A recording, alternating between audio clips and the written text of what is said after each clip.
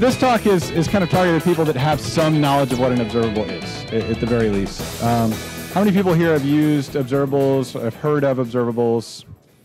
Fantastic. I feel like I'm doing my job. Um, so I'd like to uh, I'd like to get into how to think reactively uh, and, and deal with these things in, in RX because uh, thinking reactively is, is kind of a mind-bending thing when we're used to imperative programming like we are with JavaScript. So um, are you new to RxJS? Are you, do you feel lost, helpless, alone when you're dealing with it? We've got hands raised back there. Um, I'm Ben Lesh. I'm, uh, I'm actually the lead on RxJS 5, which is a redevelopment of RxJS from the ground up uh, that we've been working on at Netflix in collaboration with Google and Microsoft. Uh, I'm also a senior engineer at Netflix uh, working on the UI platform team, so things like Falcor I'm getting into right now. Um, you can find me on Twitter at Ben Lesh. So how long have uh, people here have raised their hands that they know what RxJS is? How many people here are actually using it? How, how long have you been using it? Have you been using it for one month? A little more than a month? Few people? Using it in any way, shape, or form? yeah, sure, sure, sure. Playing with it. Yeah, that's all I do with it. I just play with it. Uh, six months? All right, all right. A year? Still got people going. Two years. Wow. More than five years. Wow. That's awesome. You, you've, got, you've got me beat. Uh, but it's, uh, it's close enough. It's close enough. So I, uh, I've, been, I've been involved for uh, maybe a little more than two years uh, with RxJS, actually even using it. Um, RxJS is more than nine years old. It was created by Matt uh, Podwysocki as part of Microsoft's Project Volta. So Microsoft's Project Volta was this crazy project where they're like, we're going to make C Sharp compiled to JavaScript. And so they needed a compilation target for RX.NET. So it's a, the original was like a straight port of that. Um, so I've, I've been working on this a lot. I get a lot of questions about RX, and here's questions I've been asked. Uh, what the hell is this, another Lodash? Uh, this is actually no. I actually I asked this question myself the first time I saw it. This that's totally true. I looked at it like, what is this? Another Lodash? Um, what operator do I use for that? Uh, I, I, was frequently confused when I first started using RX. Like, oh, there's all these operators. What do I do? Um, how do I do this the RX way? Uh, so I, I've worked in Angular 1 in the past, and there was like the Angular way. And so I, I try to think, well, I want to do this whatever way I want to adopt the, the mentality of people that use this, this framework or this library all the time. And I didn't know what to do. Why did that observable die? That's a, that's a question I ask every now and then, even today. I'll be working with observables and, and uh, you know, an error happened. I'll have a catch in there. I don't know why my observable stopped working after that. Um, then, of course, there's the what, what is this RX code doing that I wrote four months ago? I have no idea. Um, that happens even, even now. So I can answer a few of these. Uh, the first thing I want to talk about, though, is thinking reactively, because that's, that's the title of the talk. Um, you kind of have to start viewing your events in terms of dependencies. So what do I mean by that? Uh, what I mean by that is we can take like a basic drag and drop, drag and drop example. Uh, so with drag and drop, you with for each mouse down, and just if you were going to write it out like this, for each mouse down on your target, you start listening to mouse moves, on the document until a single mouse up on the document. That's basic, basic drag and drop. You can implement it other ways, but um, so the first thing we can do is we can kind of look at this and we can identify three different sets of events that we're going to have to compose together. Uh, I realize that this down here is kind of blending and it looks white. That's that's actually kind of, you know, I didn't make this accessible. I'm sorry, Ram, but. Um, but yeah, there's, there's mouse downs on your target, there's mouse moves on the document, and there's mouse ups on the document. So those are our three different types of events we're going to compose together. So if we're gonna if we're gonna get those events and get them ready, we this is what we would do with RX. And uh, what we're actually doing is we're setting up three observables. Uh, one that we're actually taking the target from uh, the DOM and we're setting up an event of mouse downs on that target, or a stream of events for, for that. We're also going to set up a stream of events on uh, document mouse move and one for document mouse up. Now these are observables. And I want to remind everybody here that observables don't do anything until you subscribe to them. So I'm not actually setting up listeners at this point. I'm just setting up functions that are going to set up listeners later, basically. I'm setting up observables we can subscribe to at some point. And then we look at what we're doing with our drag and drop. And uh, I'm going to focus on this, this uh, second part here where we're talking about mouse moves on the document until a single mouse up. So I'm going to kind of work my way backwards through uh, this functionality. So mouse movements on the document until a single mouse up looks like this. We've got document mouse moves, take them until a document mouse up. So it's just this observable, take those values until this other observable fires one time. So take the movements until you get a mouse up. But that's not all. We didn't want to start doing that until we have a mouse down on our target. So again, working backwards from our goal, we're going to basically say, okay, well, to we're going to start with uh, target mouse downs, and we're going to switch map that, which is going to it's going to flatten out our other observable of mouse movements. So we're going to say start as soon as as soon as you do a mouse down on this target, go ahead and start listening to mouse movements, but take them until you have a document mouse up. So if you uh, had some sort of superhuman ability to click the target twice without letting up on your mouse, um, this would behave very strangely, but this should work just fine for a drag and drop. So th just more on thinking reactively. So that in that last example, I kind of took what uh, what I wanted to do. I examined what my uh, events, my kind of event dependencies were, uh, made streams of those events, and then composed them together, kind of working from from the the end of what I wanted towards towards the beginning. Uh, if you want to think reactively, you can actually um, look at any variable in your imperative code that you have today. Uh, and you can, you can realize one thing. If, if you were to just put your finger on an, any variable in your system, any, any application you're working on, that, that variable is going to, you're going to hit that line of code over time, right? It's going to, every now and then, something's going to happen in your system and it's going to hit that line of code and that variable will have a value. And then sometime later in the future, it's going to hit that line of code again, and that variable is going to have a value. So guess what? That variable can actually be represented by an observable. An observable is a collection of values as they happen over time. So if I was to find any line of code in some system, let's say I've got uh, something here where I'm saying I'm going to take variable A and variable B, and I'm going to add them together, and then do something with, and, and stuff them in C, and then do something with C the the uh, the interesting thing about this is what what we want to do is we want, we want to call we want to take A and B and we want to we want to do something with C here. That the thing is, um, if we want to have a stream of C, uh, it's going to look like this. So, like I said, you can represent C as a stream. Uh, so, if I want to do something with C and I had a stream of C, I would just call subscribe with do something. So I've kind of pulled that out. And then the next thing is we know that C comes from A and B. Like some event happened that changed A or changed B or maybe changed both of them. So we need to recalculate C. Uh, so what we'd, we'd do is eventually we'd figure out how to get a stream of A and B, and I'm, I would have to work my way back through that, but I, we don't know what that other code is. I've snipped it out. But once we have a stream of A and a stream of B, we can say we're going to take our stream of A and combine it with the latest value from the stream of B, and then actually call it and add those two things together, and then we get our stream of C. So what, what we're doing is we kind of start with the end and work our way backwards just by kind of creating streams. So if you're going to try to refactor your code into all observables, I don't recommend doing that, but you could. Uh, that's, that's kind of how you would get it doing that. All right, so the next thing I get, especially after talking like that, um, oh my God, RxJS is so confusing. Um, one of the best things I can tell people that are just getting into RX that are really, oh my God, this is so hard, it's really confusing, is just stop worrying about the operators.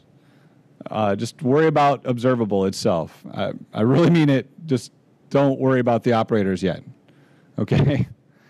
Because you were, you were probably comfortable with promises. Most people here have used promises, seen them, they're ubiquitous, they're everywhere.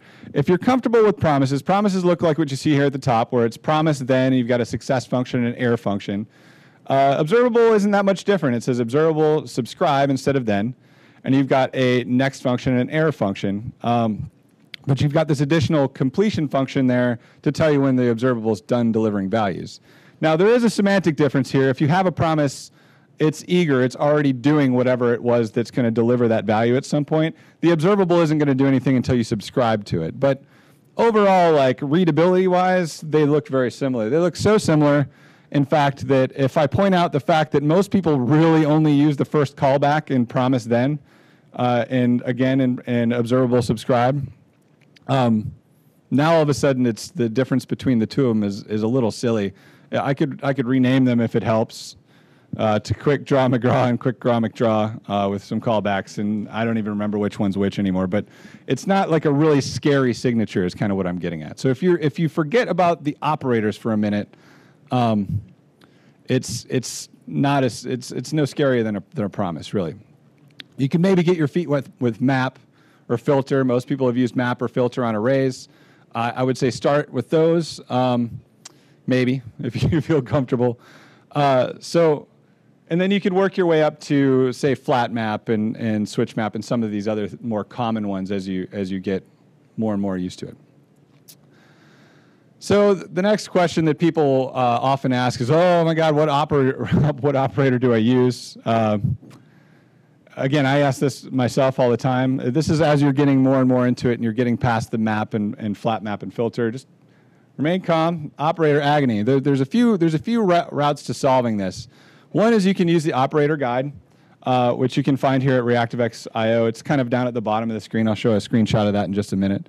Um, basically, it asks you a series of questions to kind of guide you to the right operator to use.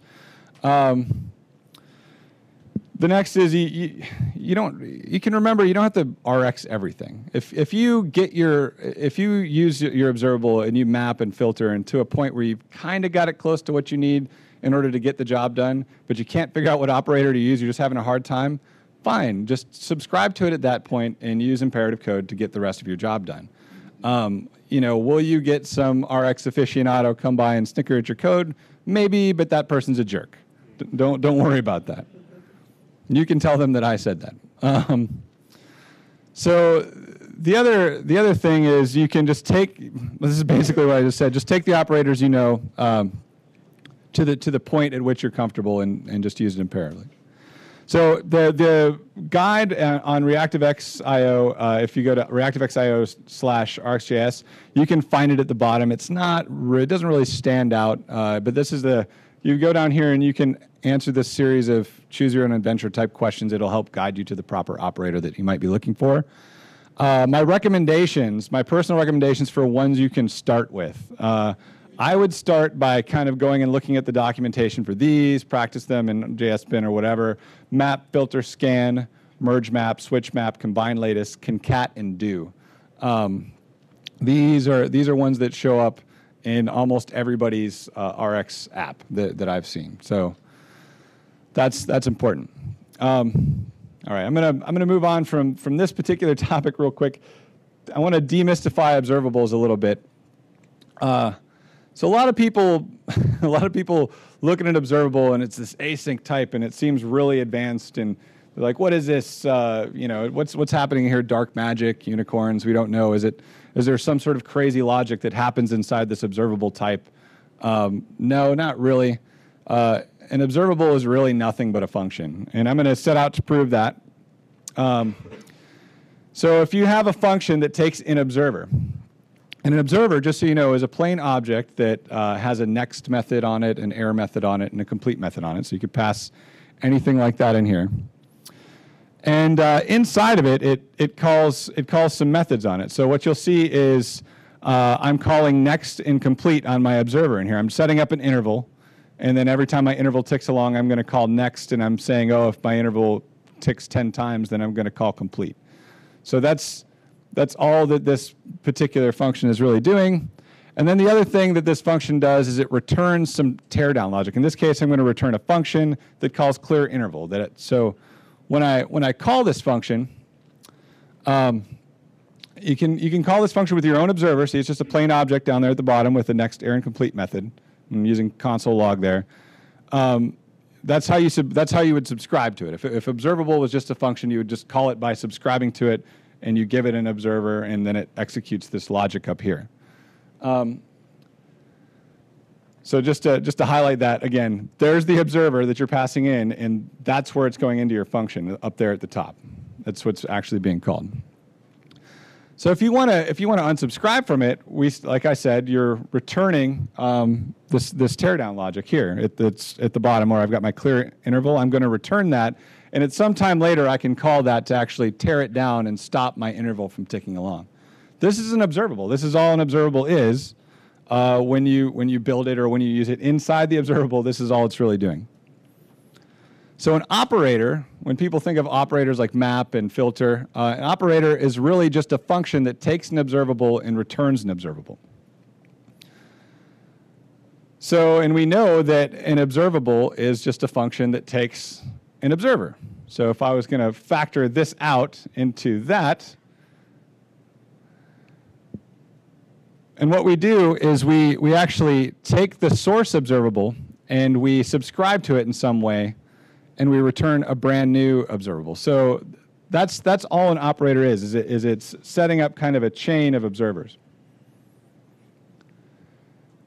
So what you do to set up this chain of observers is you then, once you, once you subscribe to it with your own observer, you actually pass values from your own observer into the observer you're provided in the, into, in the observable you're returning. So just to, just to rehash, you're passing in this observable, and you're returning a new observable, which is this whole function here, that when called subscribes to the source observable, and you subscribe to it with your own observer that you're then closing over the provided observer with so you can forward values along. That's, this is what an operator does internally. So there's our observer that we're, we're going to pass things along to. And if we wanted to make this a map operator, all we do to make this a map operator is we'd provide a mapping function and we'd actually call the mapping function before we forward it along to our, uh, our destination observer.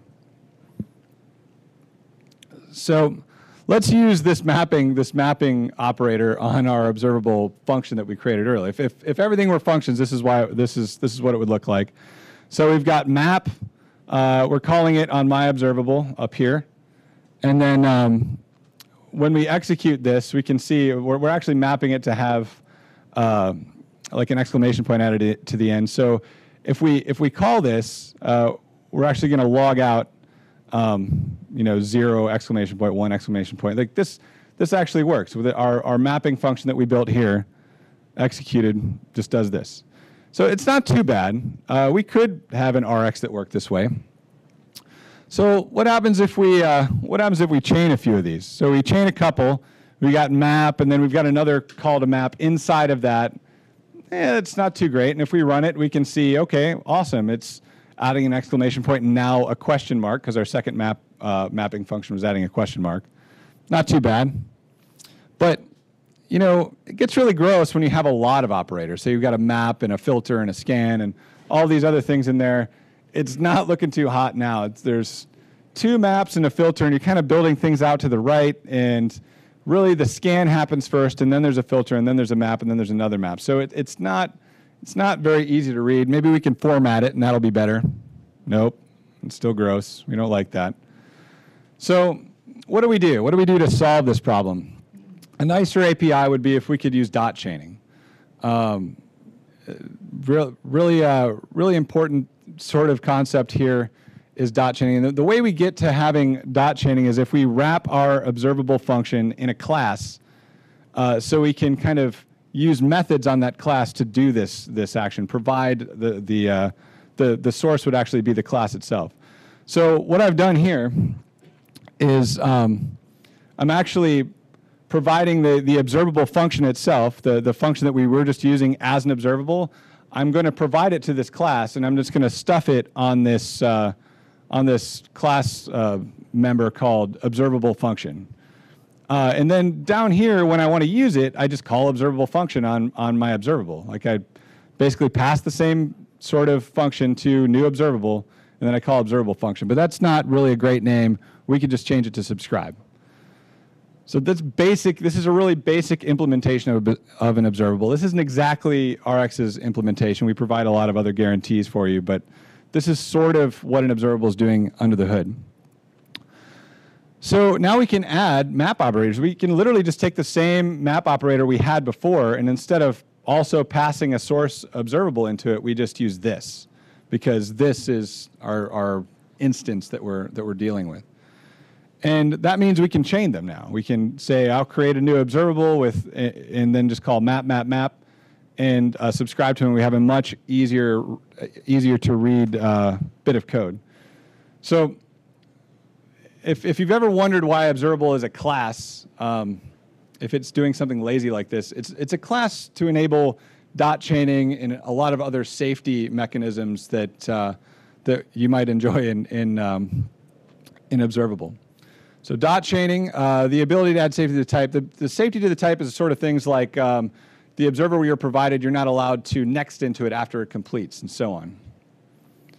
Uh, there's some performance optimizations we can do in there for sure. Uh, things to come to mind are things like if you have an observable that's scalar, which would be a synchronous observable of one value, uh, RxJS 5 will do things like pull the value directly out of the class itself without having to subscribe to it so it can execute things a little bit more quickly. Um, but the important thing to remember is it's really just a function. Observables are just a function. If someone hands you an observable, it is not doing anything until you subscribe to it. Even if it's a hot observable, uh, it, the hot stuff is happening outside of the observable. The observable itself is a function that connects your observer to some, something that's providing values. So the big takeaway is think of them as functions. That's all they are. Uh, the, the other term that you hear sometimes is that observables are lazy. Uh, they don't do anything until they're called. And operators take your observable and they return, return a new observable. So going again back to that original function I showed you that was taking an observable, returning a new observable, which we then changed into a function that took an observer. Uh, the other kind of important thing I want you to notice when you're looking at operators is uh, right here. So if operators operators return a function, and this this function, what it does, what it really does when you call it, is it builds an observer and wraps another observer in it. So every operator you add in your observable chain are actually they're actually chaining a whole bunch of um, observers together. So you're you're setting up some data source over here, and then map, filter, scan, you know, flat map, and so on. Every single one of these things just chains a whole bunch of observers together. Um, and I've got a visualization uh, for, of this uh, here. So let's look at uh, let's look at what's happening here. So if it's chaining all these together, uh, what we actually have is we've got an observer at the very head, which is our safe observer. That's the thing that provides you some guarantees, like you can't next if you've already completed and, and such, which pushes values at the filter observer, which, when the filter passes, pushes values at the map observer, which transforms those values and pushes them at your observer that you're providing it. Now, this down here is a function, but what subscribe actually does is scrub the function into an observer that can be chained to the previous, the, to the, the previous one in your, your operation. So the visualization looks a, a lot like this. Um, what you have is these things here are your actual observers. If you're going to look at, look at them, and each one of these uh, swim lanes you see here are actually like your next channel, your error channel, and your completion channel. So you've got one for your producer at the head, uh, one for your filter operator, one for your map operator, and the tail that wraps your handlers, just to clarify what all these rectangles are on the screen. And what's, what this actually looks like if you're going to visualize it is here I've got an interval, and the first value interval produces is 0, and then 1, and then so on. So the first value it produces is a 0. It's going to send that via its observer on the next channel to the filter. The filter observer is going to look at that and, and say, oh, well, Zero actually passes um, my assertion, so I'm going to forward that along to map. Map says, okay, well, I can add two zeros together and get zero. I'm going to do, do so, and I'm going to forward that along to my, uh, sub, my subscriber, my next handler, which has been wrapped in an observer, and it's going to do whatever it's going to do. If it's going to log out or whatever it's, whatever it's doing. The next time you come through, it's going to send along a 1. So in this case, just to show what filter is going to do, um, one's not going to pass this assertion. It's it's uh, it's checking for even numbers only. This this assertion and filter, so it's actually going to stop at that observer. That observer is not going to forward that value along. So that's that's that's all there that's all there is really to how this works in basic. But what about error handling? There there are a few things that uh, that are that around error handling and how this works that get a little tricky for people. So the the safety guarantees I've already mentioned a few times is observers will no longer pass along values if error is called or complete is called or someone's unsubscribed right? You wouldn't want someone to unsubscribe and you're like, "Ha, I fooled you. I got to give you a value anyways," right? Like that's that's not that's not okay. So, but the the error part confuses some people because some people think, "Oh, I'll get an error and then I'll get the next value after that error." It's just telling me there's an error. It's going to keep going. No, that's that's not what happens. It actually kills that observer. Um, so to kind of go what uh, through what this uh, looks like, i have set up this contrived example here where I've got the interval again, and I'm saying if if uh, our value is 1, which would be the second value through that, we're going to throw an error, and we're going to see what happens. So first, we're going to send along 0. That's going to go fine into our uh, mapping function. Our mapping function is going to go ahead and map that, which it's just mapping it to itself. It's going to send along that 0. And that makes to our subscriber. But the second time, it's going to send the 1. The 1 is actually going to throw an error. So when it errors, what's going to happen is this whole observer can no longer next, complete, or error ever again, which means it's inert. It can't do anything. So that effectively means that everything up above it is now gone. It, it can't possibly send anything from that source, that interval, ever again, because it's, it's turned off effectively. It will, of course, take the error signal and send it along to the next destination, but after that, it's totally done uh, we're going to handle our error and our subscriber, whatever we're going to do. So what we have is we have the catch operator, and the catch operator actually works a lot like uh, how catch works with promises. Um, it just takes a function that gives you the, an error and it expects you to return an, a new observable, whether that observable is in error or uh, successful or just completes, whatever that might may be.